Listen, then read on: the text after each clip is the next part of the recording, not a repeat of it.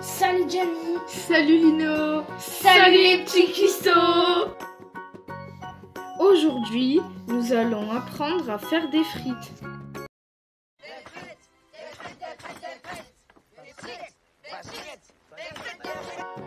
De légumes. Hein?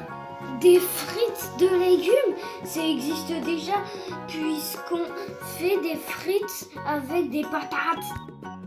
Oui, mais là, ce sont des frites de couleur.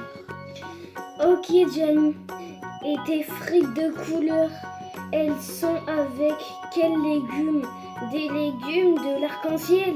Avec des légumes qu'on n'a pas l'habitude de manger. En tout cas, pas comme ça. Nous avons besoin d'Antoine la courgette, André le navet, Gustave le céleri rave et Charlotte la carotte. Hein? Et comment on fait pour faire des frites avec tous ces légumes bizarres D'abord, on lave, on épluche et on coupe tous les légumes en forme de frites. Hein On épluche, on transforme les légumes en peluche. Mais non, ça veut dire qu'on enlève la peau des légumes. Ah, d'accord.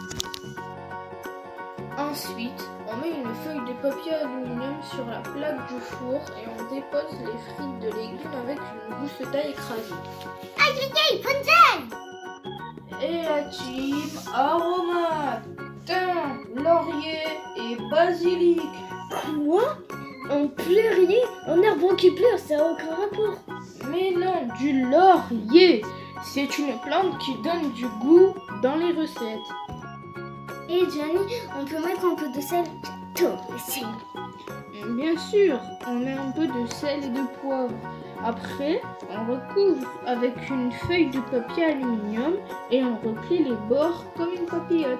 Une papillote Comme un papillon Non, c'est pour que l'air ne passe plus. Et ça y est, c'est fini la recette Il non, il faut d'abord mettre la papillote au four à 190 degrés pendant 12 minutes. On va se cramer les doigts si on met la plaque dans le four. On va demander à un adulte de nous aider pour ne pas se brûler. Surtout quand on va sortir la papillote du four et qu'on va l'ouvrir. Là, c'est bon, les frites sont cuites Presque, il faut les mettre dans un plat qui va au four avec un filet d'huile d'olive pendant 5 minutes en mode grill. Et voilà, mission accomplie. Regarde Lino, belles frites de légumes. Oh, je sens qu'on va se régaler. On rend nos tabliers, les petits cuistots. À vous de cuisiner.